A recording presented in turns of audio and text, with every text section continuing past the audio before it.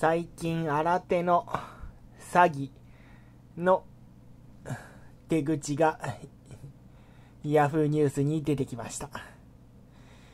求人広告の無料求人情報サイトとかのインディードはやってないと思うんですけれども、無料求人広告を歌い、広告掲載したら、無料期間終了後に有料掲載へ自動更新されるやつですね。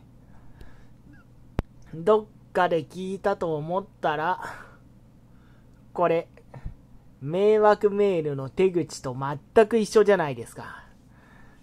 迷惑メールで勝手にどっかの分の無料の出会い系サイトに登録してあります。で、その分が有料に勝手に切り替わります。それを無料の状態からやめたいときにはこちらにクリックしてください。っていう風な文にクリックがそういったクリックメールの来ないっていう感じと全く同じじゃないですか。これ、本当に無料求人情報サイトやってないですよね。こういったこと。まあ、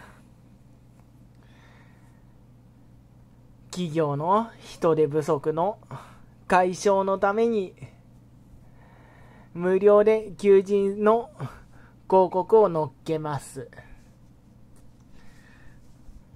でも、それをやったからといって必ずしも人が来るとは限りませんよね。それどころか。おそらくこのサイトのほとんどの手口というのが、めちゃくちゃ小さい文字か、目立たないところに一定期間の掲載が終わったら、有料に切り替えますっていうのを、ものすんごい小さく、または目立たないところにちょこっと書いてある。で、後でこれを最初にそんなものないって言ったって？いや、私たちのところは、ちゃんとここに書いてますよ。まあ、書いているの、ここにありますよね。見落としたあなた方の方の責任になりますよ。っていう風な感じで泣き寝入りするか払わされるかっていうので、問題になっているっていうのがありそうですね。ほんと。これって、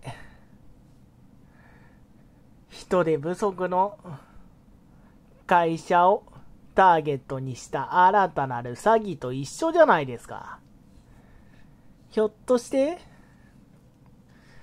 この詐欺が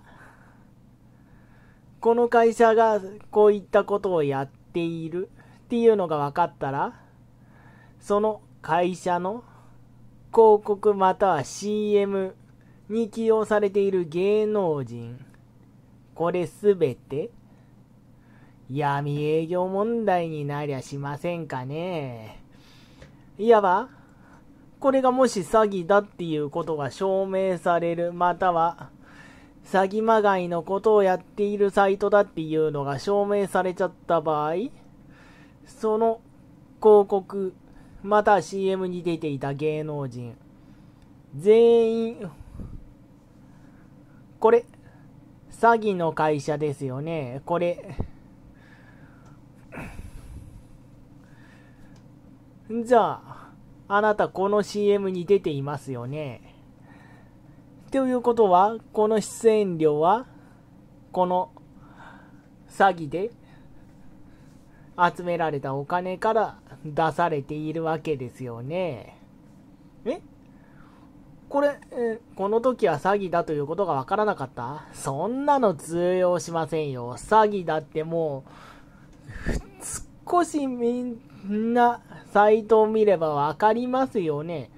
っていう風な今現在の詐欺グループの闇営業問題にもつながりかねませんよ。大丈夫ですよね。無料求人サイ、無料求人サイトを運営している皆さん大丈夫ですよね。第2、第3の吉本の闇営業問題のようなタレント生み出すようなことはしてないですよね。